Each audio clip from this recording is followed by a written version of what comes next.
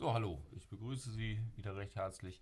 Ähm, heute kurz was anderes, eine kurze Einführung in QX. Was steht für Quite Universal Circuit Simulator, eine circa 10 Jahre alte, da sagen wir Erfolgsgeschichte in Open Source ähm, Elektrotechnik Simulation zu bekommen. Ich, zeige es mal gerade unter ähm, About, ähm, ja, entwickelt von 2003 an, also eigentlich weit 15 Jahre alt ähm, und eben oh, äh, durchsuchen nach QX auch schnell im Internet zu finden.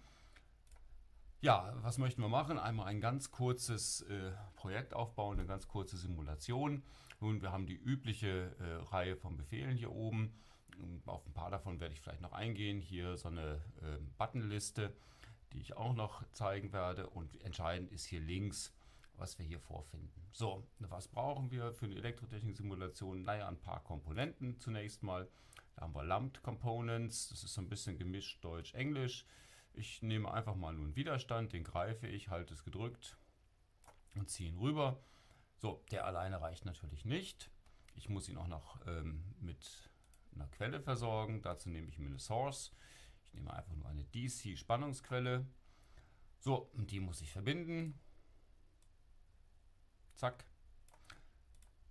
am Ende auch nochmal drücken und jetzt muss ich noch mindestens einmal Masse zufügen. Ich mache es der Einfachheit halber an beiden Stellen. Hier einmal und hier drehe ich es mit der rechten Maustaste, packe hier nochmal Masse dran. Das war es eigentlich schon mit Escape oder mit dem Drücken auf den Pfeil. Habe ich schon wieder geschafft. So, jetzt weiß das Programm nur leider nicht, was es tun soll. Muss ihm noch sagen, ähm, dass ich eine Simulation haben möchte. Hier, ich nehme einfach nur der Einfachheit halber eine DC Simulation. Das war's schon. Und ich muss es noch speichern. Hm, ich speichere es mal unter R Simple Schematic. Das war's. Und kann jetzt ähm, über dieses Zahnrad hier ähm, Simulate machen. Es geht ein äh, zweites Fenster auf. Wenn man das nicht möchte, macht man es einfach wieder zu und fügt hier beispielsweise aus den Diagrams, die auch automatisch geöffnet sind, eine ähm, kartesische Koordinatensystem zu. Man bekommt hier die Variablen angezeigt aus dem Datensatz R-Simple, der immer dazugehört. Wenn ich hier einfach drücke, übernehmen drücke, müsste ich eigentlich hier nichts weiter bekommen als eine, einen Wert, den aber keiner sieht, weil ähm, der Wert, also weil es eigentlich nur ein kleiner Punkt ist, den man hier sehen kann. So, was wir haben, ist bei einem Volt fließt hier ein Strom von minus 0,02 Ampere. Das passt natürlich auch zum Ohmschen Gesetz. Warum ist das Minus? Weil das hier der Strom ist, der hier aus der Quelle rauskommt. Ich hätte hier auch ein Messgerät einbauen können oder sonst irgendwas. Das habe ich mir geschenkt. So, das Minus ist ein bisschen unschön. Ähm, ich ändere das einfach um, indem ich mir hier mal so eine Equation greife. Zack. So, und in die Equation, wenn ich das mit Doppelklick öffne, könnte ich jetzt eintragen i. Und i ist minus V1.i. Das ist genau der Strom, der aus, dem, aus der Quelle rauskommt. Simulation ändert zunächst mal gar nichts, außer dass das wieder aufgeht. Das stelle ich jetzt mal schnell aus. Unter Document Settings, Datei Document Settings, Open Data Display After Simulation ausschalten, dann passiert das auch nicht mehr. So, hier Doppelklick auf das Diagramm bringt mir äh, wieder die Variableliste. Jetzt habe ich das i hier. Auch das werde ich mal hier mit so einem mal ein Sternchen versehen und dann sehen wir, wir haben das rote Sternchen da und das kleine Sternchen da. Das ist eben der Strom aus der Quelle raus in der falschen Richtung eigentlich und das ist der mit dem Minuszeichen durch. Ich mache das VI1 mal weg.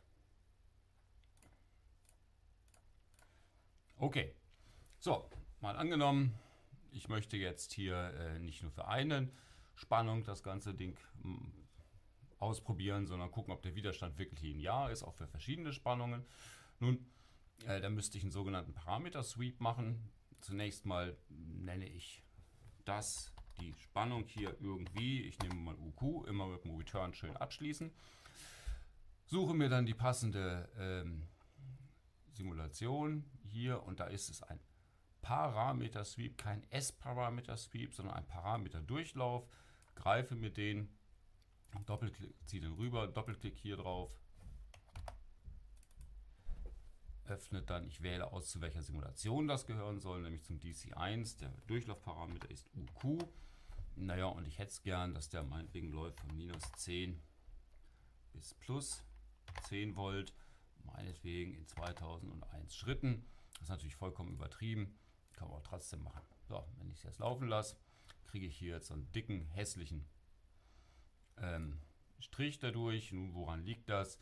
Ganz einfach, weil ich hier Sternchen noch gewählt habe. Das kann ich auch gerade wieder ändern in durchgezogene Linien. Nehme aber hier mal einen dickeren Strich, dann sieht man es besser.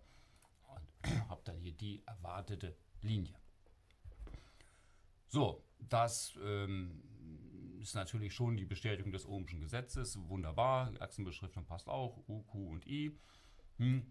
Mal angenommen, ich möchte jetzt ähm, mehrere Widerstände gleichzeitig oder natürlich nacheinander testen. Dann kann ich auch den, pa den ähm, Widerstand hier noch mit einer Variable versehen. Das nehmen wir mal hier R.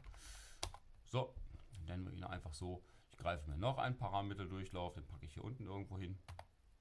Drücke ab und zu mal Escape, dass ich hier wieder den Pfeil habe, damit ich auch wirklich was greifen kann. So, da lasse ich dann den Sweep 1 laufen. Den Durchlaufparameter nehme ich mal R. Der Typ wird logarithmisch sein und ich fange an von einem Ohm bis zu, mh, hm, sagen wir mal, 1000 Ohm mit, oh, nehmen wir mal drei Werten pro Dekade, das sollte reichen. Gucken, was dabei rauskommt, wenn wir das simulieren.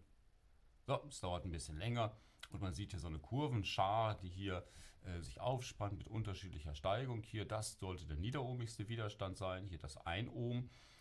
Ich könnte auch passen, das ist nämlich gerade bei 5 Volt ähm, werden hier 5 Ampere erreicht. Ich kann es mir genauer angucken, indem ich mir hier so einen Marker greife und dann auf dem Marker, wenn ich ihn markiert habe, dass es manchmal ein bisschen trickier rumlaufen kann. Natürlich jetzt sehr, sehr langsam, weil die Schrittweite der DC-Simulation sehr groß ist. Mit den Pfeiltasten rechts und links bewege ich mich hier hoch und runter und mit Hoch- und Runter Pfeiltasten kann ich die Kurve ändern. So, das sollte als erster Teaser, Appetizer hier schon mal reichen. Viel Spaß dabei, noch schwierigere äh, Gleichungen aufzubauen, vielleicht auch schwierigere Schaltungen aufzubauen und selber zu experimentieren.